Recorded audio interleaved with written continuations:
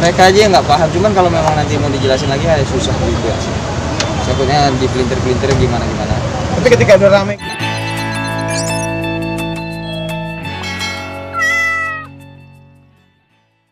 Iya, Assalamualaikum warahmatullahi wabarakatuh. Ya, gimana? Lagi rame nih bang, ini ma- main sindir-sindiran. Sebenarnya sebenarnya gini kalau? Ido pribadi sama si apa namanya Bang Bilar itu benar-benar nggak ada permasalahan apa pun. Kalau memang ada pihak yang mungkin tersinggung lah teman-teman atau para fansnya Bang Bilar Ido pribadi minta maaf ya karena memang nggak ada niat untuk ke sana. Eh, terus yang ke kedua itu postingan Ido itu flyer udah naik. Flyer untuk promo. Ya bahwasanya kita memang ngisi acara di suatu tempat. Dan Ido eh, sebelumnya pastikan juga kan dan orang TV juga pastikan kalian nggak apa-apa satu panggung sama Bang Bilar. Ya nggak apa-apa memang nggak ada permasalahan apa pun. Oh ya sudah katanya gitu. Nah justru Ido bilang tanya aja ke Bang Bilarnya kita kalau ada di situ gimana aman nggak? Oh, jo- Kalau harusnya kita mah aman, harusnya aman. aman. Nah itu bilang bang eh, kak kita eh, kemungkinan dari Bandung berangkat langsung ke lokasi. Oh ya sudah mungkin ke, harus di backupin baju. Nah kebetulan mau berangkat dan di cancel gue kok mendadak banget. Kenapa? Karena ada satu hal dan hal lainnya katanya gitu. Oh ya sudah. Terus hidup posting tuh player yang hidup bikin cancel dan naikin. Nah malah eh mojokin ke idonya gitu. Sebenarnya nih mojokin ke idonya wah kenapa? Takut ya apa segala macam Eh, sebenarnya pribadi kita mah aman-aman aja nggak ada yang gimana gimana tapi mungkin yang banyak yang memojokkan atau apa ya, salah salah paham sebenarnya. Ya udah. Dan kita kebetulan pas waktu itu lagi berkunjung ke ini gitu ke ke Syaki lah.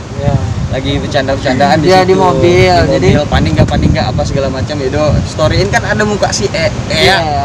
so, Itu, eh, eh, teman saudara lah. asistennya Eh, mami asistennya umi. Umi. jadi dia buat situ. Hapus lah bang hapus lah bang Ya. jadi Ayo, ada kebetulan aja sebenarnya. Nggak ada yang nyinggung ke sana sebenarnya. Cuman kalau untuk masalah pribadi Ido dengan Bang Bilar mah nggak ada apa-apa. Aman-aman aja sih sebenarnya. Tapi dia kan sempat eh, mention juga tuh yang di live IG tuh. oh, Dia sempet ngebalas komen. tuh kan, komen. Oh, Siapa yang komen. harus panik gitu kan? Eh, mungkin mungkin itu apa namanya ada mungkin fans atau apa yang ngadu mungkin yang bikin kisruh ya. Sebenarnya nggak ada apa-apa. Sama dia juga aman-aman aja. Bahkan kita udah mau janjian untuk pengen eh, sebagai pelengkap biodata biografi Ikido. Ikido Ido kan pengen eh, ngelanjutin kuliah lagi ya. Eh, nanti salah satunya narasumbernya dia pengen minta pendapat. kalau memang dia berkenan nantinya. Tapi Ido sudah kontak-kontakan data- sudah janjian dan dia bilang udah bro atur aja aman.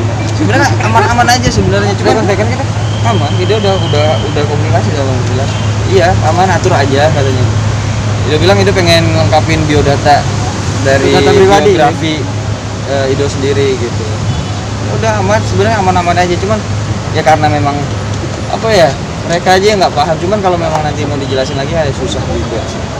Takutnya di pelintir-pelintir gimana gimana Tapi ketika udah rame gini lo berusaha ngomongin Bilar nggak? Ngejelasin atau tanya-tanya apa gitu? Sebenarnya Ya, nggak ada apa sih gitu kan sih ya? Ramenya sebenarnya gitu? sebenarnya komunikasi mah asik sebenarnya sama sama kita mah. Cuman mereka aja sih. Ya udah kita mah udah sama-sama tahu aja lah. Mereka aja maksudnya gimana nih? Netizen atau netizen netizen. Oh. netizennya aja. Mungkin mungkin terlalu fan- fanatik mungkin teriang dengan permasalahan yang lalu atau apalah nggak ngerti. Cuman kan kalau kita secara pribadi Ido dengan mah masih baik-baik aja nggak ada yang gimana gimana sudah ya Dok, sudah biasa eh, masalah yang kecil dibesar-besarin. makanya Ido bingung juga ini apalagi apalagi apalagi. Sebenarnya secara kebetulan bersangkut paut aja sebenarnya.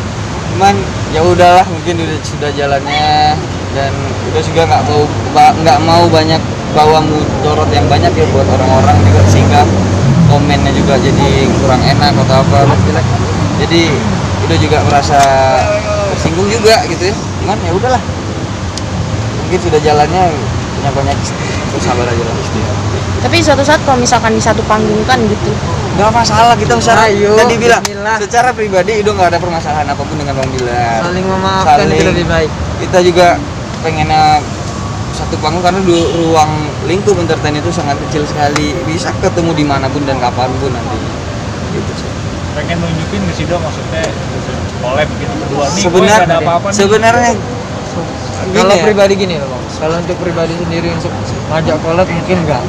Kita juga nggak mau yang namanya nanti yang ada kata-katanya memanfaatkan momen udah gitu wah sengaja nih untuk pansos atau apa nggak mau cuman memang yang penting Ido insya secara Allah personal di antara kita pribadi sama beliau alhamdulillah mudah-mudahan selalu baik silaturahminya menurut mereka seperti apa itu terserah mereka yang penting secara personal itu udah baik tidak perlu harus menunjukkan kebaikan itu kepada orang lain kalau memang uh, membawa kemudorotan bagi mereka.